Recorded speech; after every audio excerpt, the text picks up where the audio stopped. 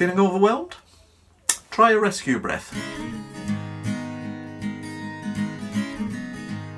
Here's what I call the rescue breath. Simple technique, but just do it with me now.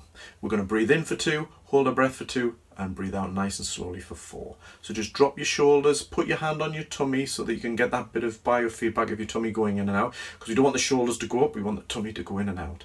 And nice and slowly just breathe in. One, two. Hold.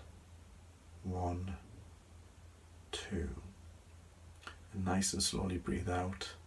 One, two, three, and four.